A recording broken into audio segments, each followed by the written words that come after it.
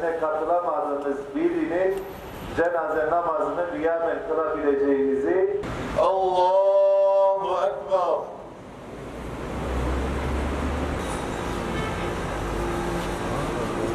Selamun Aleyküm ve Rahmetullah.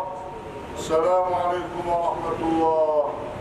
Resulina Muhammedin ve ala وصحبه أجمعين يا مولانا إنك أنت التواب الرحيم فضلك وجودك وكرمك يا أكرم الأكرمين namazı kıldık ellerimizi açtık boynumuzu büktük kemali edep ile senden istiyoruz boş çevirme ya Rabbi ya Rabbi ümmeti Muhammed'e vahdet şuuru lütfeyle ya Rabbi. Karan bütün mazlum Müslümanlara kurtuluş nasip eyle.